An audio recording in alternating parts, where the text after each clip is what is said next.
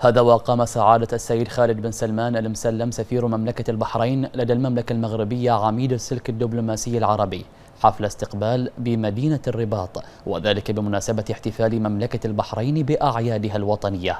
وقد حضر الحفل وزيرة إعداد التراب الوطني والتعمير والإسكان ممثلة عن معالي رئيس الحكومة المغربية سعد الدين العثماني وعدد من أعضاء البرلمان المغربي وكبار المسؤولين والسفراء العرب والأجانب إلى جانب عدد كبير من الشخصيات السياسية والثقافية والإعلامية الذين قدموا التهاني لمملكة البحرين البحرين قيادة وحكومة وشعبا بهذه المناسبة السعيدة والعزيزة على قلوب الجميع.